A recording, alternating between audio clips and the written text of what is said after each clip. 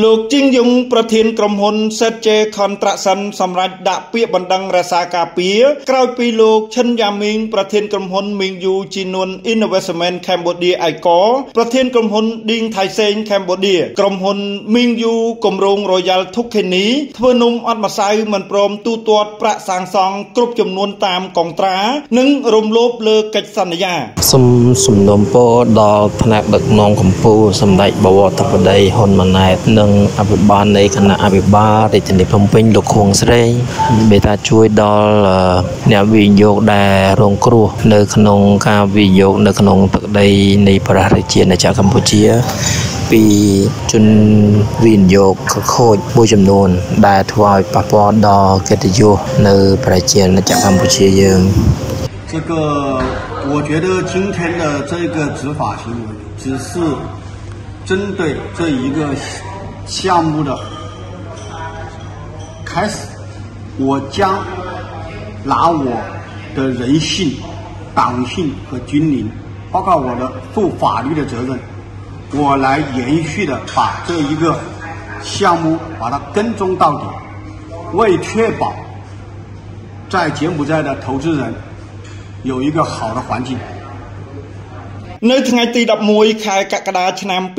2024ដឹកនាំដោយក្រឡាបញ្ជីនៃសាលាដំបងរាជធានីភ្នំពេញសហការជាមួយអាជ្ញាធរមូលដ្ឋាន និងសមត្ថកិច្ចពាក់ព័ន្ធបានចុះអនុវត្តដីកាសម្រាប់រក្សាការពារនៅទីតាំងអនុវត្តការដ្ឋានគម្រោង Royal Thukeni ដែលស្ថិតក្នុងភូមិស្រុកជែកសង្កាត់ជើងឯកខណ្ឌដង្កោរាជធានីភ្នំពេញយោងតាមដីកាសម្រាប់រក្សាការពារចៅក្រមនៃសាលាដំបងរាជធានីភ្នំពេញបានសម្រេចមួយហាមឃាត់កូនបំណុលលោកឈិនយ៉ាមីងនិងអ្នកពាក់ព័ន្ធផ្សេងទៀតមិនអោយធ្វើការលក់ដូរជួលបញ្ចាំដាក់ហ៊ីប៉ូតែតធ្វើអំណោយផ្ទេរកម្មសិទ្ធិនិងធ្វើសកម្មភាពផ្សេងផ្សេងជាអាចនៅក្នុងគម្រោង Royal Thukeni ដែលមានទីតាំងភូមិស្រុកជែកសង្កាត់ជើងឯកខណ្ឌដង្កោរាជធានីភ្នំពេញដែលជាកម្មសិទ្ធិរបស់កូនបំណុលពីបង្គាប់ឲ្យកូនបំណុលលោកឈិនយ៉ាមីងផ្ញើប្រាក់តម្កល់នៅតុលាការចំនួនជាង2លានដុល្លារអាមេរិកជាប្រាក់រំដោះ3ប្រាក់ប្រថាប់ក្តីជាបន្ទប់របស់កូនបំណុលសំអាងហេតុមួយតាមពាក្យសុំដីកា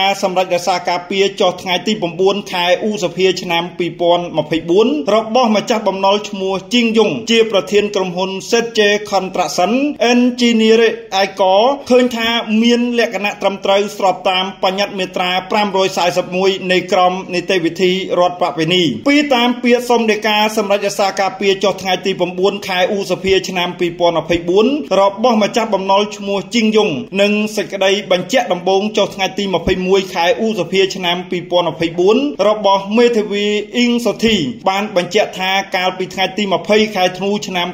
2022កូនបំណុលឈ្មោះឈិនយ៉ាមីងដែលជាប្រធានក្រុមហ៊ុនថៃសេងកម្ពុជានិងក្រុមហ៊ុន Mingyu Jinun Investment Cambodia បានចុះកិច្ចសន្យាសាងសង់គម្រោង Royal Thukeni លើផ្ទៃដីទំហំ44214ម៉ែត្រការ៉េមានទីតាំងនៅខាងលើ ដែលជាវិញ្ញាបនបត្រសម្គាល់ម្ចាស់អចលនវត្ថុចុះថ្ងៃទី27ខែតុលាឆ្នាំ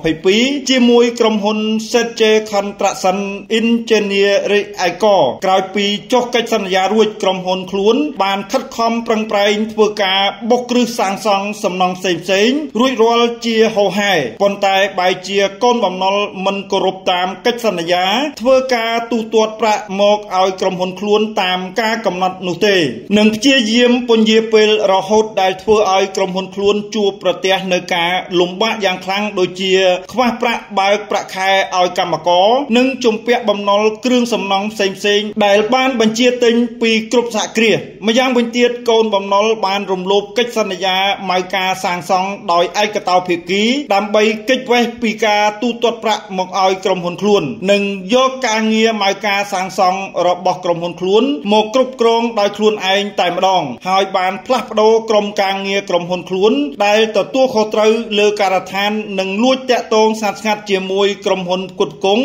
ដែលជាដៃគូរកស៊ីរបស់ក្រុមហ៊ុនខ្លួនថែមទៀតផងបីតាមកិច្ចសន្យាម៉ៅការសាងសង់ចុះថ្ងៃទី20ខែធ្នូឆ្នាំ2022និងអាជ្ញាប័ណ្ណអាជីវកម្មអភិវឌ្ឍលំនៅឋានប្រភេទ2លេខ2659 1អបចុះថ្ងៃទី26ខែកក្កដាឆ្នាំ2023របស់នាយត្តករអាជីវកម្មអចលនវត្ថុនិងបញ្ចាំឃើញថាគម្រោង Royal Tukini មានទីតាំងស្ថិតនៅខាងលើដែលមានវិញ្ញាបនបត្រសម្គាល់ម្ចាស់អចលនវត្ថុចុះថ្ងៃទី27ខែតុលាឆ្នាំ2022ត្រូវបានក្រុមហ៊ុន ZJ Construction Engineering Agro ជាម្ចាស់បំណុលបានសាងសង់សំណង់តាមផែនការនៃកិច្ចសន្យាបានមួយចំនួនផ្អែកតាមផុសតាងជាមួយរូបភាពបង្ហាញពីការសាងសង់ចំនួន16សន្លឹក4ដោយយោងតាមរបាយការណ៍ផ្ទៀងផ្ទាត់ការទូទាត់រវាងក្រុមហ៊ុនទាំងពីររួចហើយនោះគឺប្រាក់បំណុលសរុបតាំងពីដើមដែលក្រុមហ៊ុន Mingyu Jinun Investment Cambodia Icor បានជំពាក់ក្រុមហ៊ុនខ្លួនចំនួនជាង3លានដុល្លារសហរដ្ឋអាមេរិកនិងបានធ្វើការទូទាត់សងវិញចំនួនជាង1លានដុល្លារសហរដ្ឋអាមេរិករីឯប្រាក់ដែលនៅជំពាក់សរុបមកដល់ពេលបច្ចុប្បន្នគឺជាង2លានដុល្លារសហរដ្ឋអាមេរិកដោយសារក្រុមហ៊ុនខ្លួនមានការបារម្ភថាកូនបំណុលអាចធ្វើការរុះរើនិងចាត់ចែងផ្សេងៗលើទីតាំងការដ្ឋានគម្រោង Royal Tukeni ខាងលើនេះដែលធ្វើឲ្យការអនុវត្តដោយបង្ខំនិងមិនអាចអនុវត្តសិទ្ធិបាន និងមានការលំបាកខ្លាំងក្នុងការអនុវត្តសិទ្ធិព្រោះមានការប្រែប្រួលស្ថានភាពបច្ចុប្បន្ននៃអចលនវត្ថុខាងលើនេះដូច្នេះការរក្សាស្ថានភាពដើមនៃអចលនវត្ថុខាងលើនេះជាការល្អបំផុតដើម្បីការពារសិទ្ធិនិងផលប្រយោជន៍ស្របច្បាប់របស់ក្រុមហ៊ុនខ្លួន5ដោយមានការបារម្ភថាការអនុវត្តដោយបង្ខំចំពោះសិទ្ធិលើបំណុលនឹងមិនអាចធ្វើបានឬនឹងមានការលំបាកយ៉ាងខ្លាំងក្នុងការអនុវត្តដោយបង្ខំដោយសារការចាត់ចែងឬផ្លាស់ប្ដូរជាអាចនៅក្នុងគម្រោង Royal Tukini ដែលមានទីតាំងនៅភូមិស្រុកជែកសង្កាត់ជើងឯកខណ្ឌដង្កោរាជធានីភ្នំពេញដែលជាកម្មសិទ្ធិរបស់កូនបំណុលហើយនេះដើម្បីធានានៅការអនុវត្តដោយបង្ខំចំពោះសិទ្ធិលើបំណុលទាំងអស់ឲ្យបានគ្រប់ចំនួនតុលាការគប្បីពិចារណា និងសម្រេចតាមពាក្យសុំស្របតាមមាត្រា545នៃក្រមនីតិវិធីរដ្ឋប្រវេណី6កូនបំណុលដើម្បីទទួលបាននៅការលុបចោលការអនុវត្តការរឹបអូសជាបណ្ដោះអាសន្ននេះវិញកូនបំណុលត្រូវផ្ញើប្រាក់រំដោះនៅតុលាការចំនួនជាង2លានដុល្លារសហរដ្ឋអាមេរិកតាមមាត្រា547នៃក្រមនីតិវិធីរដ្ឋប្រវេណីគួររំលឹកផងដែរថាកាលពីចុងឆ្នាំ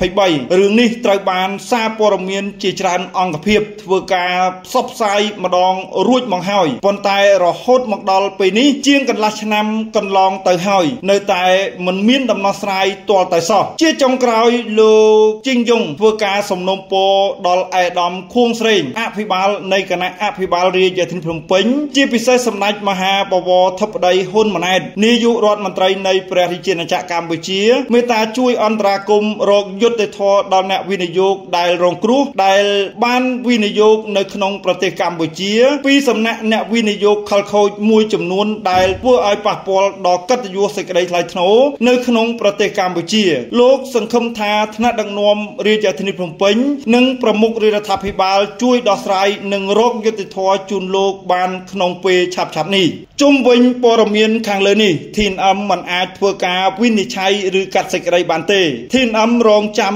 ការបំភ្លឺពីគ្រប់ភាគីពាក់ព័ន្ធរាល់ម៉ោងរដ្ឋបាលពីខ្ញុំបាទកែវរដ្ឋាទូរទស្សន៍អនឡាញ TNM ដំបងគេនៅកម្ពុជារាយការណ៍ពិសេសចេញពីរាជធានីភ្នំពេញ Land Rover នាំចូលនឹងចែកចាយផ្ដាច់មុខដោយក្រុមហ៊ុន RMA Cambodia